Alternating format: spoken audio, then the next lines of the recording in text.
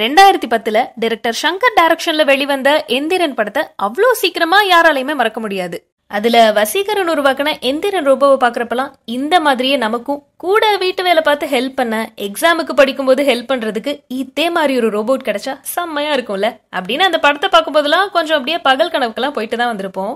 ஆனா இப்போ அது ஜஸ்ட் கனவு மட்டும் இல்ல உண்மைதான்னு. புதிய மனிதா பூமிக்கு வா அப்படின்னு ஆப்டமஸ்னு பேர் வைக்கப்பட்டிருக்க ரோபோவை அறிமுகப்படுத்தி டெஸ்லாவோட சிஇஓ ஆன எலான் மஸ்க் எல்லாருக்கும் இன்பதிர்ச்சி கொடுத்திருக்காரு.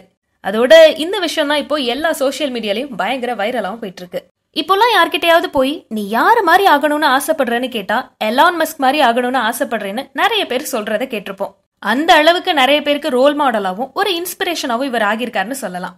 உலக பணக்காரர்களில் ஒருத்தரான இவர் டெஸ்லா ஸ்பேஸ் எக்ஸோட சிஇஓவும் கூட. அது மட்டும் இல்லாம நிறைய புது புது கண்டுபிடிப்புகளை அறிமுகப்படுத்திட்டு வராரு. அந்த வகையில இப்போ ரீசெண்டா கலிபோர்னியால டெஸ்லா கம்பெனி சார்பில் நடத்தப்பட்ட ஒரு கண்காட்சியில ஒரு ஹியூமனாய்டு ரோபோட்டை அறிமுகப்படுத்தி எல்லாருக்கும் பயங்கர சர்ப்ரைஸ் கொடுத்திருக்காரு. இந்த ரோபோ பத்தி சொல்லணும்னா பார்க்க அப்படியே அச்சு அசலா ஒரு மனுஷன மாதிரியே இருக்க இந்த ரோபோவோட பேரு ஆப்டிமஸ். இந்த கண்காட்சியில அந்த ரோபோட் ஸ்டேஜ்ல மெதுவா முன்னாடி நடந்து வந்து அங்கிருந்த எல்லாருக்கும் கையசைச்சு ஹாய் சொன்னதை பார்த்து எல்லாருக்குமே பயங்கர ஆச்சரியம்.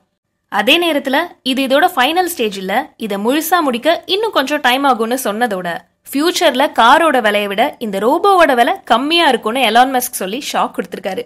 அது மட்டும் இல்லாம மலிவான விலையில அதிக திறன் இருக்க ரோபோவை தயாரிக்கிறது தான் என்னோட கனவு. அது இப்போ நனவாகி இருக்கு.